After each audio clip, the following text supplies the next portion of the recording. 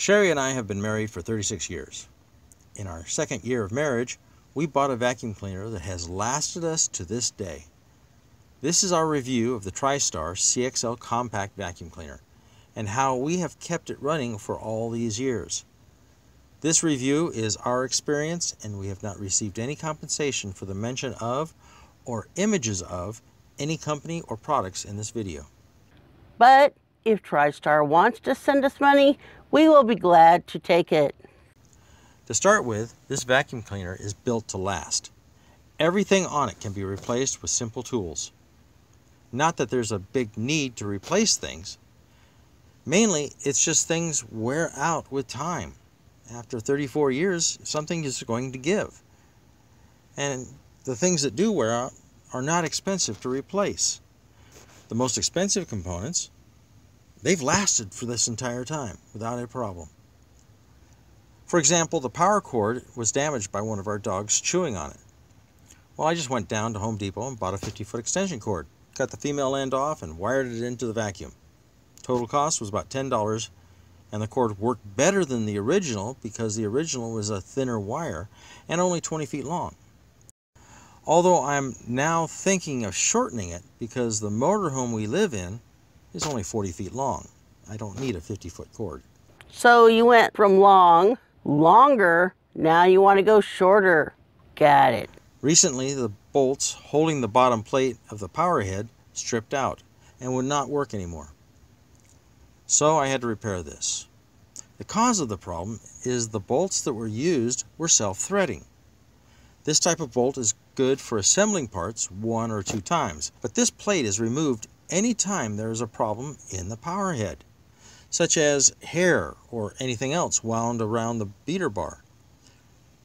It could be a belt change, or there could be something clogging the intake hose, and so on. And using this type of bolt repeatedly in the same hole will eventually damage the threads in the hole to the point where they don't hold anymore. The simple solution is to take it apart and rethread the holes with a tap.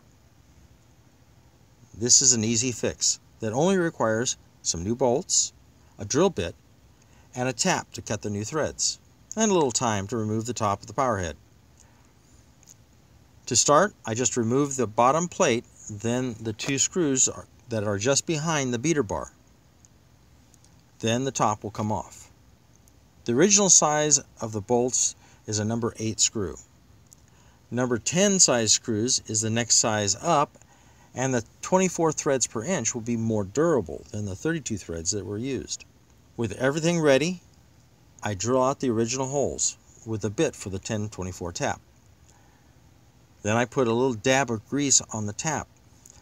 This is to lubricate it and is less messy than cutting oil that really gets all over everything. I put the tap into place in the hole and press down on the wrench while turning the tap.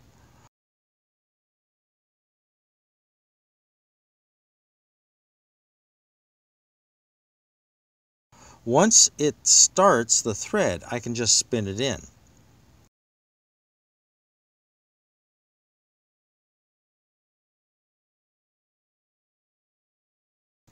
I will back it up every once in a while, a little bit, to keep the tap from clogging too much, and then continue to cut the thread until it is at the depth I need.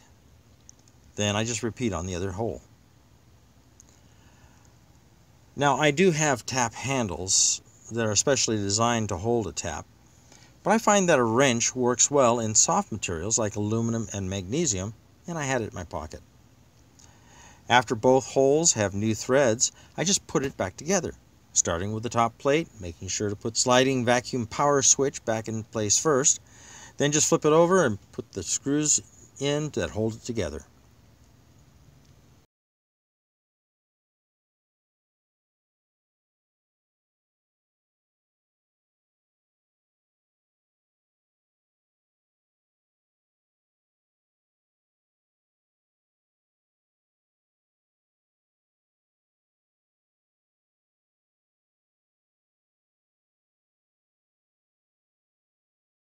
This vacuum cleaner has always done a better job than any other vacuum we've ever had. Part of the reason is that the airflow is consistent until the dust bag is absolutely full. We've always had inside pets, and as Sherry is a groomer, there's always hair and fur in the carpet. We had hair, lots of hair. This lasted us through about six dogs, four cats, and me trekking in other dogs' hair. This vacuum cleaner picks it all up. And it does a, such a good job and doesn't really lose power as the bag fills that sometimes we don't even remember to empty the bag for months at a time. He'll just keep packing it in. Until it looked like a large chihuahua. Now, yes, this did cost us a lot of money back in 1983. It was about $1,300. And we've spent maybe $200 over the 34 years that we've had it for maintenance and things like that, replacement of parts here and there. But it has kept going until now, and it seems at, to be as strong as it was when we first bought it. Even stronger, maybe. So, overall, this has been a good purchase. Thanks for watching our video. If you like what you see, press the like button below and subscribe. And also check out our other videos.